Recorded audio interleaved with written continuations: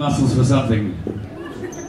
All right, one chance you get, one smack.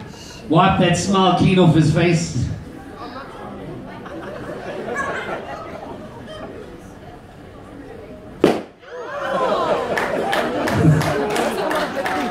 I didn't think that was good enough. You guys think it was good enough? I didn't think it was good enough. No, Tyron, come. You don't want to give it properly, you're going to get it properly. One inch. Why not? On.